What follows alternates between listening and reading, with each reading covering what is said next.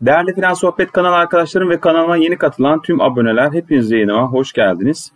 Bugün hafta sonu olmasından dolayı biraz borsadan uzaklaşalım, piyasalardan uzaklaşalım. Hem de anılara doğru bir yolculuk yapalım. Hem de anılarımızı tazeleyelim. Bazı arkadaşlar anıları dinlemeyi çok seviyorlar ve bende de anı çok olduğundan dolayı bu videomu belki biraz uzun olabilir anılara ayırdım. Ben her zaman için Türkiye'nin dinamik yapısına, Türkiye'nin genç nüfus yapısına ve Türkiye'nin pasif kaynaklarının potansiyelinin çok yüksek olduğuna inanmışımdır. Evet aktiflerde Türk ekonomisi zayıftır ancak pasiflerde çok yüksektir. Mesela Antalya Körfezi. Turizmden Türk turizmi yıllık 35 milyar dolar para basıyor. Bunun en az 25 milyar doları Antalya Körfezi'nden. Antalya Körfezi inanılmaz bir pasif kaynaktır. Her yıl iyi yönetilirse 25 milyar doları 30-35 milyar dolara ve Türkiye'nin yıllık turizm gelirini 50 milyar dolara dahi çıkarabiliriz. Çok ciddi potansiyeller vardır.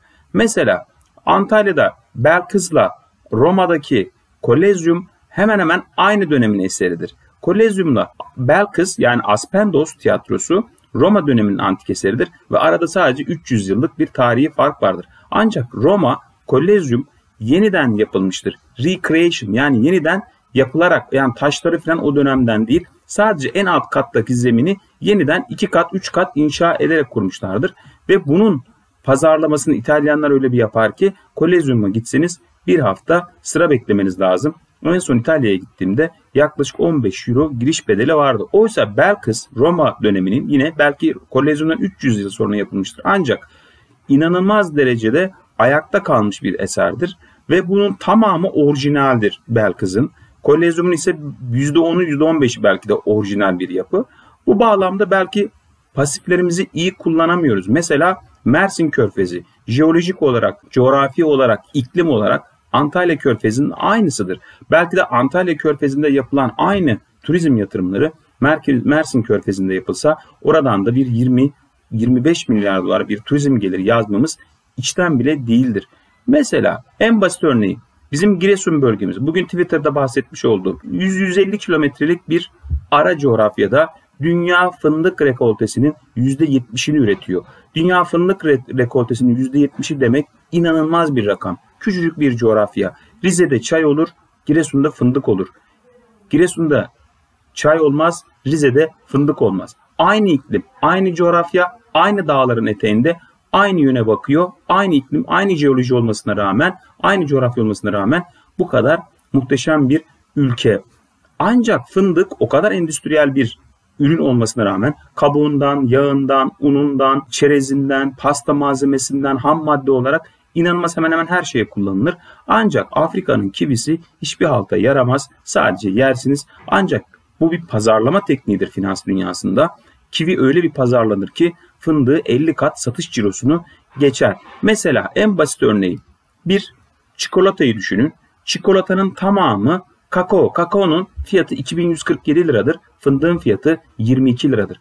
Ama size şöyle bir çikolatayı size çikolata üreticileri sade çikolata diye 3-5 liraya verirken içine bütün fındıkları koydukları zaman, bütün fındıkları koydukları zaman o fındıklar hacim kaplar, alan kaplar kullanılan kakao miktarı, çikolata miktarı azalır, fındık miktarı artar. Halbuki siz onun içine ucuz bir malzeme koyuyorsunuzdur.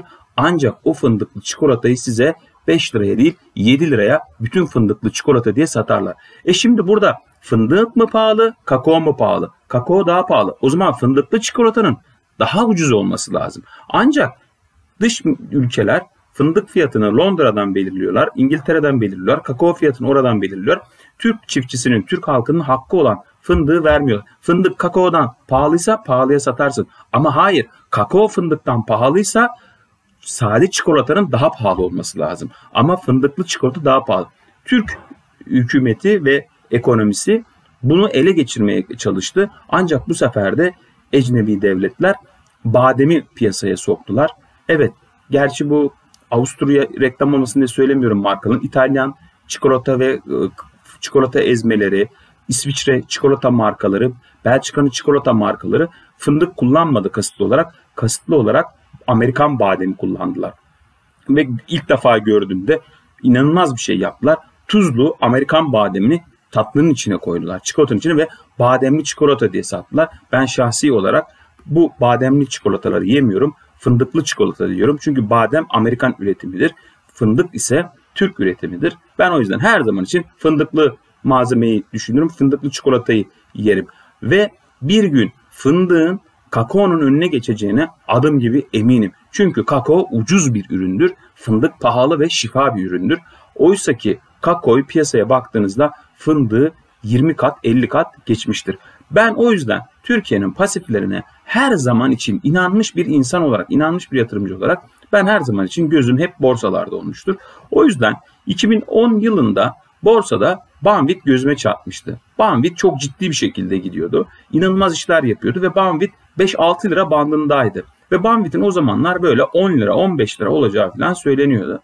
Ancak tabii ki bu söylentilere göre hareket etmiyorum. Bilançolar okuyorum, faaliyetler okuyorum. Ve inanılmaz derecede Banvit 6 liralardan 5 liralardan 2010 yılından itibaren geri çekilmeye başladı. Yaklaşık 2013 yılları filandı. 2013 yıllarında Banvit 3-3,5 lira aralığına gelmişti. Bu sırada ben bunun faaliyet raporlarını okuyorum, takip ediyorum. Bunlar Banvit Elazığ'da çiftlikler alıyor. Ee, sanırım e, Bitlis, Tatvan, Urfa gibi yerlerde tavuk çiftlikleri alıyor, üretimhaneler alıyor. Oradaki yerel üreticilerle, tavuk üreticileriyle anlaşıyor. Bunları okuyorum filan ve ben 3 e, liralardan bildiğim kadarıyla kademeli olarak Banvit'e girmeye başlamıştım. 300 bin lira kadar bir param vardı ve Banvit'e kademeli olarak girmiştim. Banvit evet ben aldıkça düştü. Ben aldıkça düştü ve ta ki ta 2.50'ye kadar düşmüştü. 2.50'lerde zaten moralim son derece bozuktu. Ancak 3 ayda bir faaliyet raporlarını okuduğumda Banvit'te işler iyi yolunda gidiyordu. Ve bu bağlamda 2014 yılı filandı bir Arap yani tam ülkesini hatırlayamıyorum şu an. Ya Birleşik Arap Emirlikleri ya Katar ya Dubai öyle bir Arap bir ortak buldular. Ve Arap bir ortakla da yollarına devam ettiler. Banvit'in hedefi tüm Orta Doğu coğrafyasına tavuk ve kanatlı ürünlerini satmak ve pazarlamaktı. İnanılmaz bir yönde de hızla ilerliyordu. Ve ben Banvit'in yeniden o zaman ben tabii 3 3,5 2 2.50'lerden almışım. Ortalamam 2.60'larda filandı.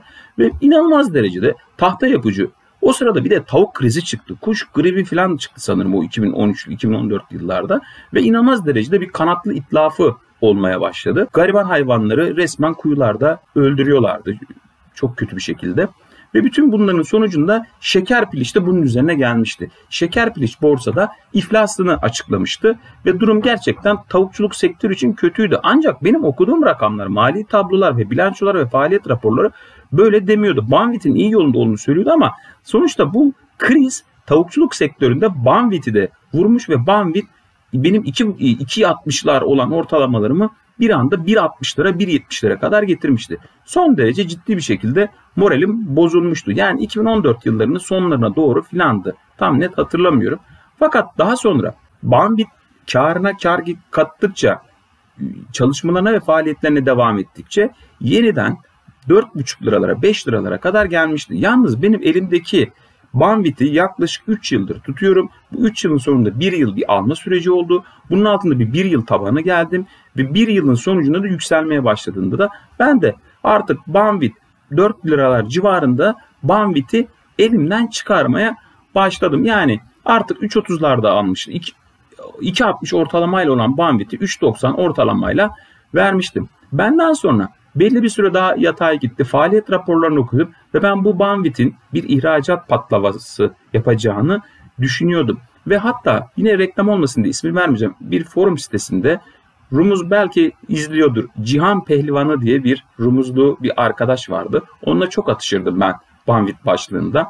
Ve ona bayağı derdim ya işte şeker piliçle iflas etti falan herkes piliççilik öldü, tavukçuluk öldü falan deniyor. O da hayır Banvit gerçekten çok iyi olacak, çok güzel olacak falan diyordum.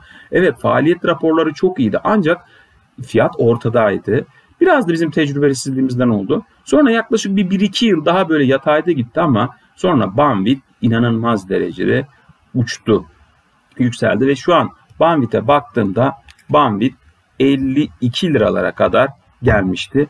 Banvit evet gerçekten anasının ak sütü gibi bu e, fiyatlara gelmesini hak etmişti.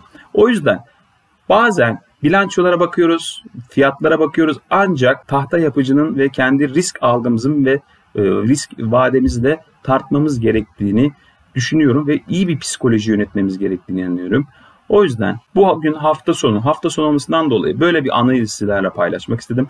Her zaman için Türkiye'nin geleceğine ve dinamik nüfusuna ve dinamik yapısına inanmak ve güvenmek lazım. Sadece siyasilerden ve bürokratlardan şartları sağlamalarını istiyoruz. Onlar şartları sağladığı zaman bu ülke halkı, bu ülke milleti inanılmaz işler başarırlar. Benim güvencem tamdır. Sağlıcakla iyi hafta sonları diliyorum. Bu kanalda yer alan yorum, bilgi ve tavsiyelerin sadece birer düşünce ve fikir olduğunu sizlere paylaşmak isterim. Kendinize iyi bakın. Yatırım tavsiyesi değildir. Hoşçakalın. Allah'a ısmarladık.